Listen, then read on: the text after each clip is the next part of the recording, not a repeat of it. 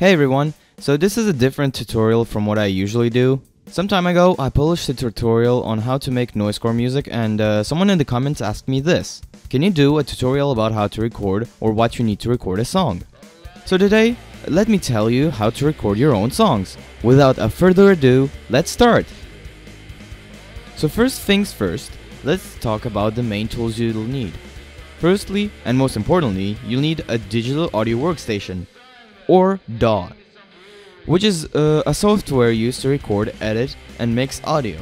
Some known options include Pro Tools, Logic Pro, GarageBand, Ableton Live, FL Studio, Tracktion Waveform, Reaper, BandLab, and Audacity. Next, you'll need recording equipment such as a microphone for capturing vocals and acoustic instruments, an audio interface to connect your instruments and microphones to your computer, and studio quality headphones or speakers for listening back to your recordings, or as it is called in music production, monitoring. This is why studio quality speakers are called monitors. Studio quality headphones and monitors are designed to have a flat frequency response, meaning they don't color the sound or boost certain frequencies like consumer headphones tend to do. This allows you to hear your recordings exactly as they are, pretty much. Once you have your equipment ready and plugged in, open your DAW. Every DAW has a slightly different layout, but they all have similar functions. Let's go over some basic controls you'll need to know. The record button. This allows you to, well, start and stop recording. The play button. This allows you to play back your recorded audio. The metronome. This is a click used to stay on time with your song. The mixer. This pretty much shows you all of the tracks that you have on your song and allows you to adjust the overall levels and effects of your mix. Track controls. Here you can adjust the volume, pan, and add effects to individual tracks. Library.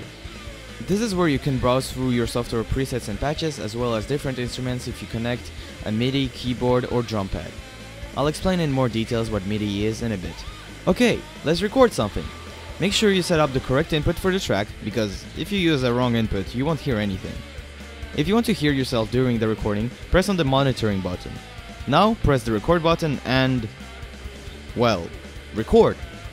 If you make a mistake, fear not, just delete the tape and re-record it.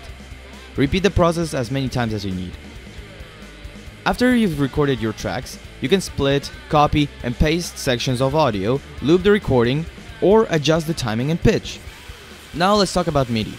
MIDI, which is an acronym for Musical Instrument Digital Interface, is a universal protocol used in music production that helps electronic instruments and computers communicate.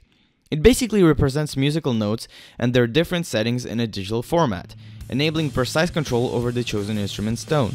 If you want to program a MIDI instrument on your DAW, the process is relatively straightforward. First, you'll need to create a new MIDI track in your DAW and assign it to the desired MIDI instrument or a virtual instrument plugin. Then, using a MIDI controller, meaning a synthesizer or drum pad connected to your device, or your computer keyboard, you can record musical notes directly into the MIDI track, or you can program them manually. These MIDI notes will trigger the corresponding sounds in the virtual instrument of choice. Once you're happy with your recordings, mix your song, master it, and export it in any audio format you want.